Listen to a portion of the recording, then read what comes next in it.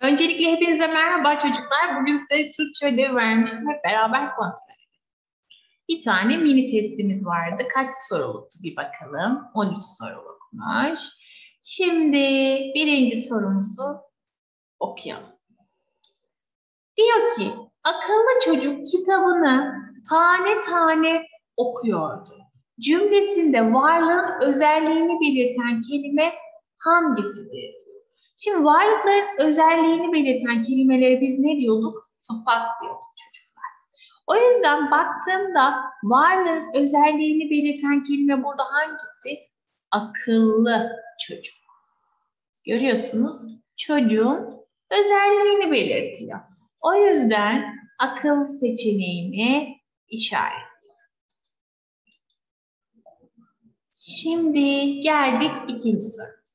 Hangi cümlede varlığın özelliğini belirten bir kelime kullanılmamıştır diyor. Ormanda yürüyüş yaptık. Burada hiçbir şekilde varlığın özelliğini belirtmemiş. Ormanda yürüyüş yaptık dersi. Elindeki beyaz gülleri vazoya koydu. Güller ne renkmiş? Beyazmış. Güllerin özelliğinden bahsetmiş mi? Evet, renginden bahsetmiş. O yüzden burada varlığın özelliğini belirten kelime beyaz. Kırık bardağı geri dönüşüme yolladı derken nasıl bardak? Kırık bardak. Burada da bardağın özelliğini belirttiği için ee, onu işaretlemiyoruz. O yüzden A seçeneğinde varlığın özelliğini belirten bir kelime yok çocuk. Geldim üçüncü sorumuza. Hangi varlığın adı sözlükte daha sonra yazılır derken? Bakalım şimdi ne yazacağız? Ee, çanta,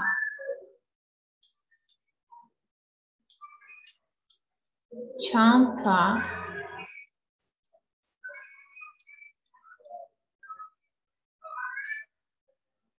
bu sözlük,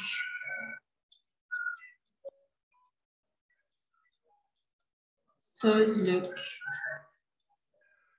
Anıtkabir, Anıtkabir dediğimde baktığımda şimdi alfabeyi sırasıyla sayacağız.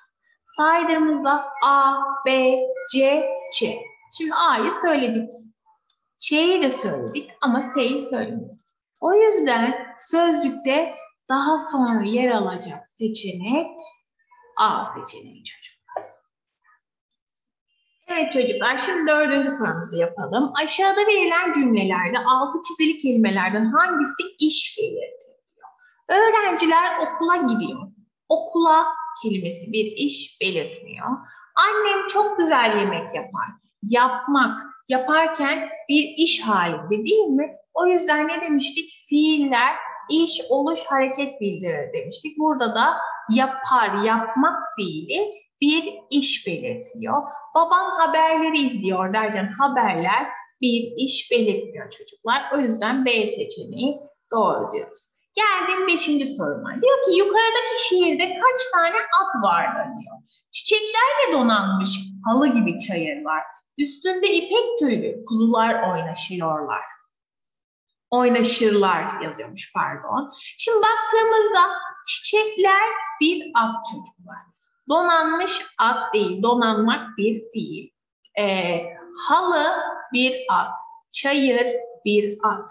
Üstünde ipek tüylü, ipek tüylü bir sıfat çocuklar.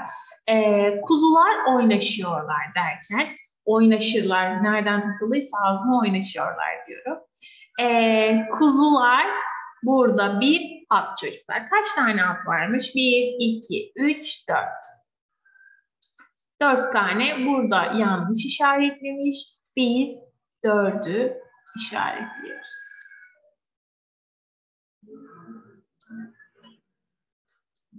Geldim 6. sorumuza. Hangi seçenekteki kelimeler varlığın özelliğini bildirmez?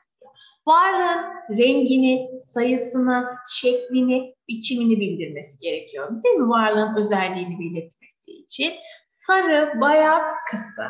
burada varlığın özelliğini belirtiyor. Mesela sarı bir saç, bayat bir ekmek, kısa bir çocuk derken burada varlığın özelliğini belirten kelimeler var.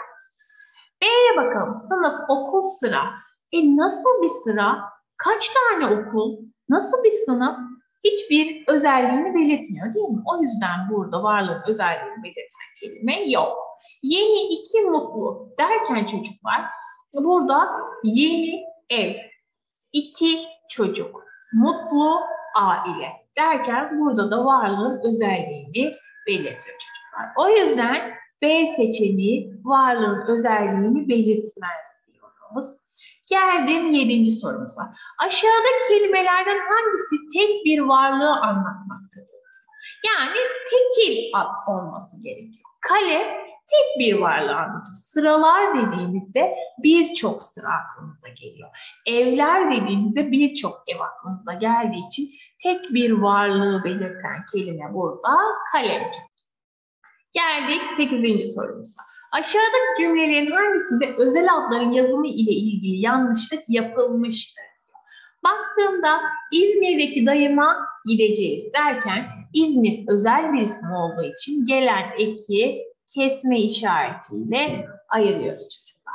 Dünkü maçı Hakanlar kazanmış derken burada Hakanlar özel bir isim ama lar eki gelmiş çocuklar. Sadece Hakan'dan bahsetse özel bir isim olsa gelen eki kesme işaretiyle ayırıyorduk. Ama Hakanlar dediği için Hakan'ın çevresindekilerden bahsediyor. Yani ailesinden bahsettiği için o yüzden kesme işaretiyle ayırmıyoruz. Bu da doğru. Geldim C seçeneğine. Kemal amcam piyano çalar derken burada yine Kemal'in K'sini büyük yazmış. Hiçbir problem yok. Burada doğru yazılmış. O yüzden yanlış olan A seçeneği çocuklar. Geldim 9. sorumuza. Yanda verilen resmin eş seslisi hangi seçenekte verilmiştir. Şimdi eş sesli neydi? Yazılışları aynı ama birden fazla anlamı olan kelimeler. Şimdi baktığımda bir kazmak var, kazmak fiili var, bir de kaz var değil mi? İkisi de kaz şeklinde yazılıyor. Mesela tarlayı kaz, kazmak anlamında. Bir de e, kazlar beni kovaladı dediğimde hayvan anlamında kaz var. Şimdi aşağıya baktığımızda burada hangi seçenekte eş seslisi doğru olarak verilmiş dediği için C seçeneğinde e, adam toprağı kazdığı için burada C seçeneğini işaretliyoruz. Geldim 10. soruya. Aşağıda kelimelerden hangisi sadece cümlenin başında büyük harfle başlar? Türk kelimesi özel bir isim olduğu için cümlenin başında da olsa, ortasında da olsa, sonunda da olsa büyük harfle yazılmak zorunda. İstanbul kelimesi özel bir isim olduğu için yine aynı şekilde başında da olsa, ortasında da olsa ve sonunda da olsa büyük harfle yazılmak zorunda. Ama ağaçlar sadece cümle başında büyük harfle yazılır ve cümle ortasında veya sonunda küçük harfle yazılır çocuklar. O yüzden B seçeneğini işaretliyoruz. 11. sorumuza bakalım. Hangi kelime sözlük sırasında en sonda yer alır diyor. İlk harflerine bakalım. T, T, T. İkinci harflerine bakalım. A, A. Burada da A. Şimdi üçüncü harfleri farklı. Biri R, biri V, biri de Ş. Çocuklar alfabeyi sırayla saydığımızda V en sonda olduğu için tavuk sözlü, e, tavuk kelimesi sözlükte son sırada yer alır diyoruz. Geldik 12. sorumuza. E, Çiğdem kalktı yüzünü yıkadı, kahvaltısını yaptı derken cümlesinde iş, oluş, hareket bildiren kaç kelime vardır? Çiğdem kalktı, kalktı, yüzünü yıkadı, kahvaltısını yaptı derken iş, oluş, hareket bildiren üç tane fiilimiz var burada. Üçü işaret. 13. sorumuza bakalım. Yağız büyüyünce doktor olacakmış. Cümlesi için verilen bilgilerden hangisi doğrudur derken. Soru cümlesi de. Bu bir soru cümlesi değil çocuklar. Yağız büyüyünce doktor olacakmış. Soru cümlesi değil. Şimdi baktığında Yağız büyüyünce doktor olacakmış. Olmak fiili sonda olduğu için kurallı bir cümledir diyoruz. kuralsız bir cümledir diyor. Bu da yanlış. O yüzden B seçeneğini işaretliyoruz.